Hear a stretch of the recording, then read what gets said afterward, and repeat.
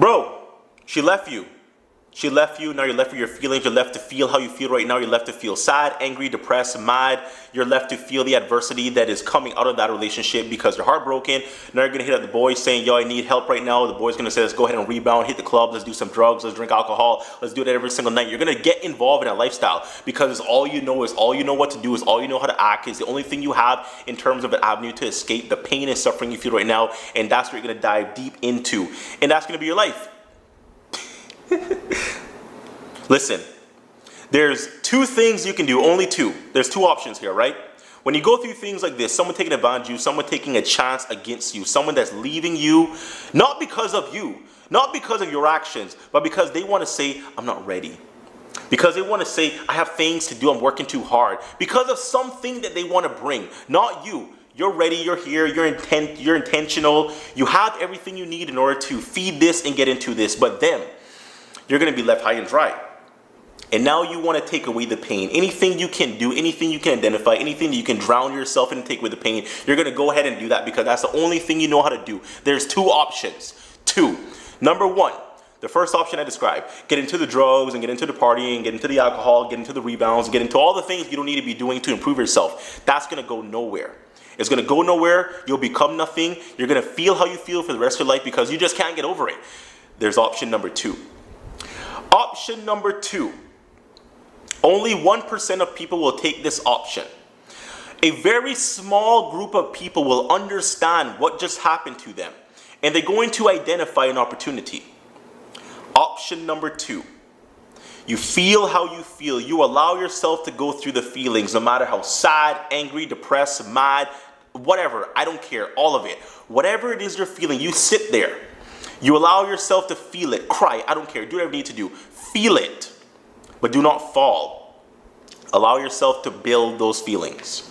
And of that, as a man, our job is to find solutions to problems. Our job is to problem solve these things that are annoying and frustrating in our life. You're gonna feel the frustration, you're gonna feel the anger, you're gonna feel the pain, you're gonna feel the resentment. That's gonna build and grow and grow. And you're gonna become a version of yourself that you may not recognize. But when you feel that, when you are in your emotions, and when that is very real for you, and if you're the person of the 1% that understands what just happened to you, you also understand that this is a moment for growth, opportunity to improve and to be better and to evolve. You do that by a couple things, right? You're gonna wanna hit the gym because you're angry, mad, and you're so aggressive. You need to get the aggression out somewhere by doing something. You're gonna go to the gym and train really hard. You should go to the gym and train really hard. You're gonna feel good about yourself.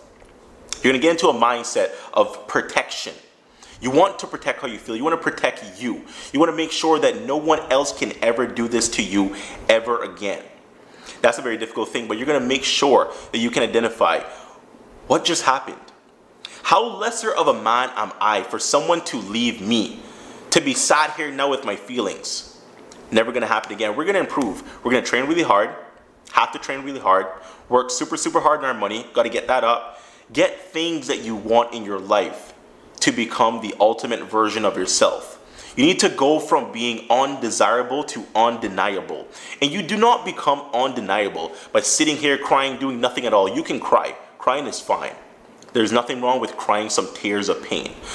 But don't sit there for too long, crying and pondering on how you feel. Don't sit there for too long in this pit of depression and sadness and anxiety and just anxiousness of, will she come back around and who's going to be the next one and I got to find something. Don't do that.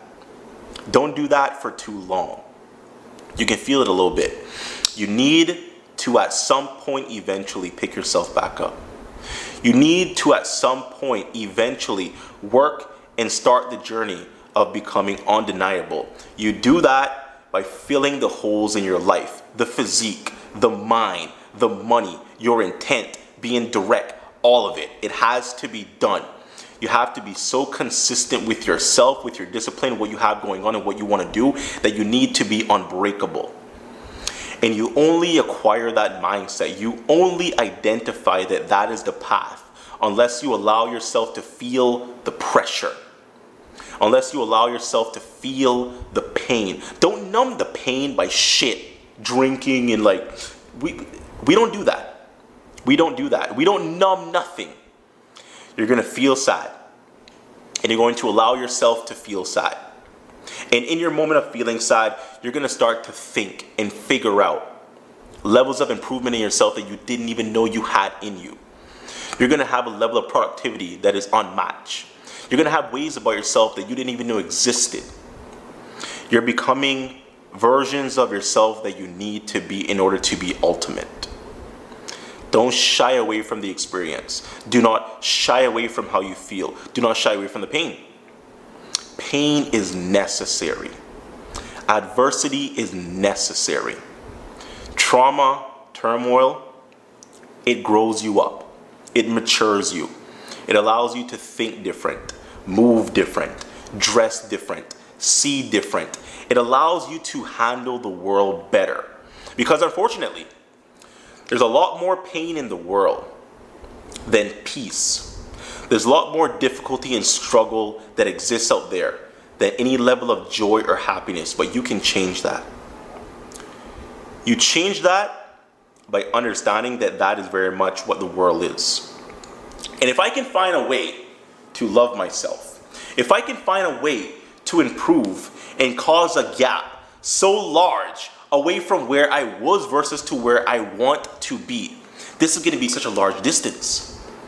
Nobody's going to move you backwards. Nobody's going to give you any regression backwards because you did that journey by yourself. You made the choice to go that path by yourself. Physical improvement, mental improvement, money improvement, all of it. You hate your job, you got motivation. You don't like how you look, you got motivation. You are poor, you got motivation, bro. Hustle. Hustle. The worst thing you can do is sit there and stay seated. It's the worst thing you can do. There's going to be a moment in this process of how you feel that you have to get up and you have to go. Start with a walk. Get up out of your house, go outside, touch grass every single day. Touch grass. Lie on it, swim around in it, I don't care. Sleep in it, sit in it, read a book in it, watch TV in it. Go and touch grass, bro. Touch it. Eat it. I don't care. Get the grass. Bring it to your house. Have grass plants everywhere. Once you have the grass, you are surrounding yourself with motion and activity. That's a start. You're breaking a sweat. You're getting involved. You're doing things. You're just going and you're feeling and you're allowing yourself to be fueled by what you just went through. And this is very much true for a lot of things in life. This is very much true for death. This is very much true for many things. This world is way too difficult. And this world has way too much adversity to experience, to fall and stay fallen for too long. You are allowed to fall. You are allowed to feel how you feel. You're allowed to be in pain. You're allowed to feel all this. You're allowed. Feel it. Be about it. It's fine. Just understand. Time is going and life is progressing. And nobody or no thing or no opportunity is going to wait for you. And if you do care about your existence, if you do care about life, if you do care about progression, then you're going to realize that I have to get myself up from this pit that I was forced into. You got to get up, bro. You have to get up. You got to get up. You need to get up. You have to progress. Out of that progression, you will become who you need to be. But you never become who you need to be if you shy away from the experience and from the journey.